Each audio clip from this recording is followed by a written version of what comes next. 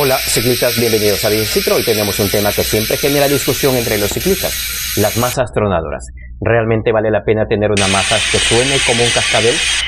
En este video vamos a abordar la pregunta clave. ¿El sonido de las masas tronadoras es sinónimo de alta calidad o solo es una moda que agrega ruido sin rendimiento? Vamos a analizar la utilidad del sonido, los problemas que pueden causar y si modificar tu masa para que suene más fuerte realmente tiene algún beneficio. También hablaremos de las diferencias claves entre las masas tronadoras y las masas silenciosas. Si eres un ciclista curioso sobre este tema, quédate hasta el final del video y no olvides dejar tu opinión en los comentarios. Vamos a desentrañar todo lo que necesitas saber sobre las masas tronadoras. Comencemos por entender qué son exactamente las masas tronadoras.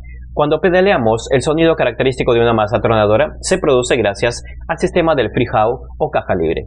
Este mecanismo permite que la rueda gire sin estar conectada al pedal cuando dejas de pedalear y es el responsable de generar el sonido al engancharse los trinquetes dentro de la masa.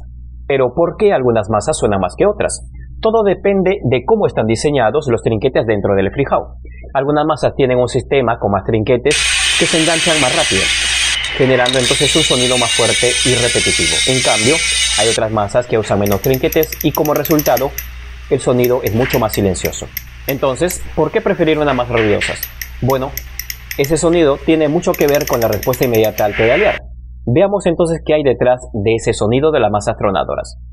Ahora vamos a profundizar en la razón detrás del sonido fuerte característico de la masa tronadora. El mecanismo de trinquetes viene a ser el principal responsable de ese ruido. Cuanto más trinquetes tenga la masa, más rápido se enganchará cuando empuja los pedales y por ende más sonido pues va a emitir. En ese sentido, las masas con más trinquetes generan un ruido porque su respuesta al pedalear es más rápida.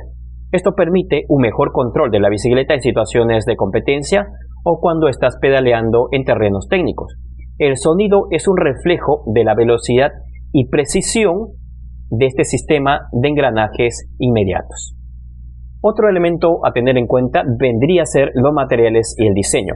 Algunas masas de gama alta van a estar diseñadas para ofrecer un engranaje extremadamente rápido. Aunque esto genera un sonido promedio, eh, no necesariamente significa que el rendimiento o la durabilidad de las masas sean superior. A veces el ruido solo es parte de un diseño avanzado. El sonido y la experiencia de conducción. Aunque el sonido de la masa no afecta directamente el rendimiento, aunque puede influir en cómo te sientas al pedalear, a algunos ciclistas les gusta escuchar el clic clic de la masa porque les da la sensación de que su bicicleta responde inmediatamente a cada pedaleada. En cambio, hay otros que prefieren el silencio para disfrutar de una experiencia más tranquila, sobre todo en las competencias. Entonces, ¿es realmente útil el sonido fuerte de las masas tronadoras? Aunque a algunos ciclistas les encanta el sonido, pues muchos se preguntan si realmente mejora el rendimiento o si es solo una cuestión de preferencia personal. Eh, el sonido fuerte, en todo caso, de las masas tronadoras a menudo se asocia con un sistema de respuesta más rápida. Esto significa que cuando dejas de pedalear y vuelves a pedalear, la masa responde casi inmediatamente, lo cual es útil en situaciones donde necesitas agilizar la precisión y como por ejemplo en competencias o en terrenos más técnicos.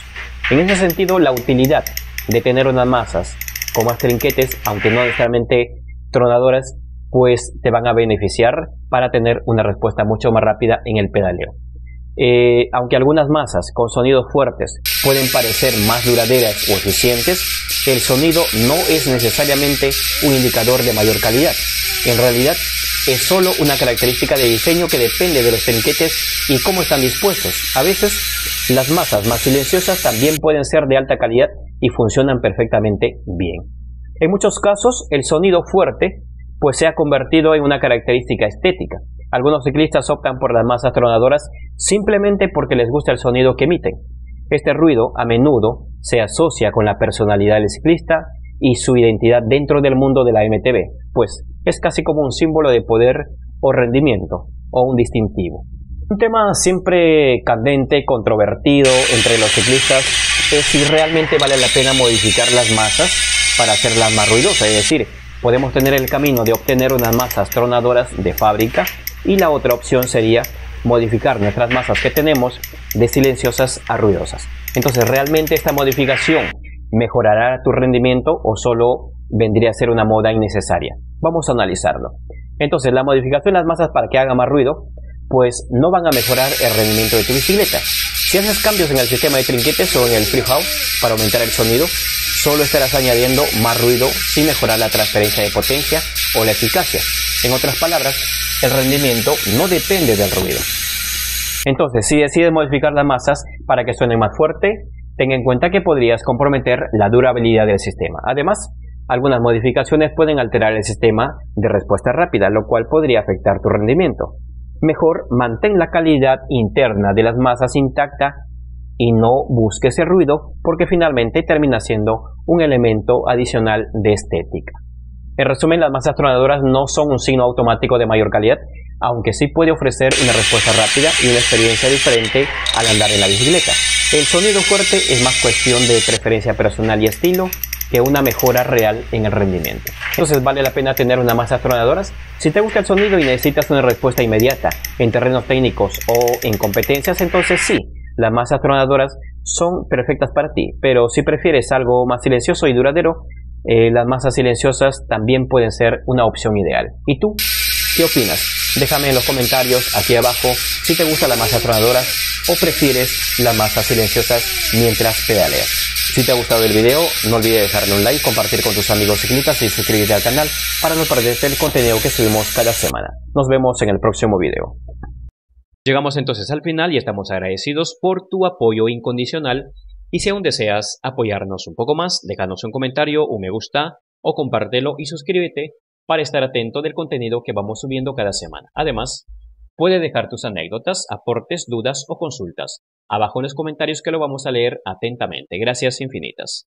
Te damos las gracias por quedarte hasta el final del video y te reiteramos la invitación a que te suscribas, que nos dejes algún like o algún comentario, ya que de esa manera nos vas a ayudar muchísimo porque nuestros videos van a llegar a muchas personas. Muchas gracias, hasta la próxima.